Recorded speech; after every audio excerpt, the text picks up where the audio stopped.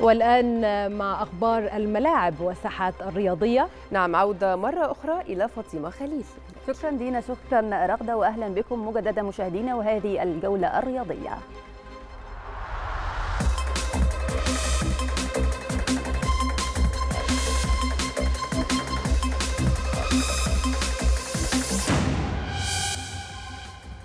أعلنت الشركة المتحدة للخدمات الإعلامية عن اتفاقها مع الاتحاد الدولي لكرة القدم فيفا بخصوص حقوق بث مباريات منتخب مصر بتصفية كأس العالم 2022 داخل وخارج مصر أمام أنجولا والجابون وليبيا بالإضافة إلى مباراتي الدور المقبل الحاسمتين في التأهل إلى المونديال.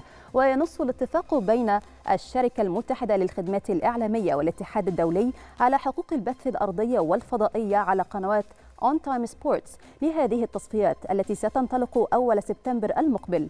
وكانت الشركة المتحدة قد قدمت عرضا ماليا للفيفا المالكة للحقوق منذ 18 شهرا للحصول على حقوق من أجل إسعاد الشعب المصري بمتابعة مباريات المنتخب وهو الأمر الذي غاب عن الشاشات المصرية قرابة العقدين. وتتمنى الشركة المتحدة لكل مشاهدي أون تايم سبورتس متابعة كل برامجها التي ستكون ذاخرة بالانفرادات والمتابعة الدقيقة للتصفيات الإفريقية دعما ومساندة مع الشعب المصري خلف المنتخب القومي حتى تأهله لكأس العالم 2022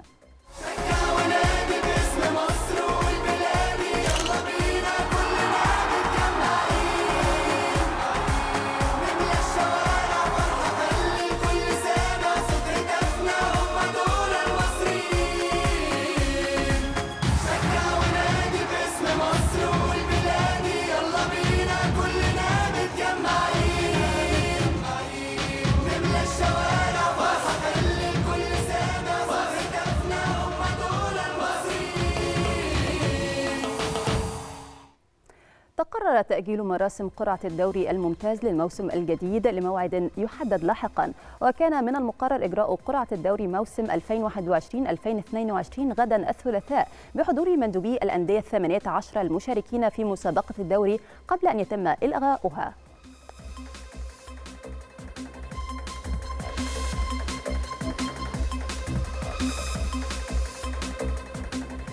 مشاهدينا نهاية هذه الجولة الرياضية عودة مرة أخرى لدينا ورغدة لاستكمال ما تبقى من التسعة شكرا لك فاطمة.